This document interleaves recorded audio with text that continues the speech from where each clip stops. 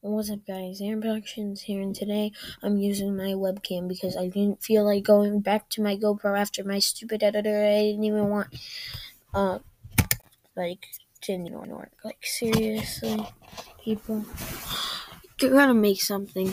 Make it. It has a save button. God. Okay. So. Let's pull the alarm.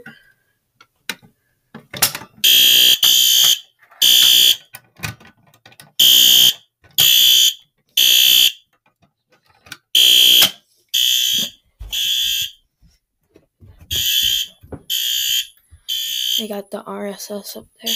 You can't see it.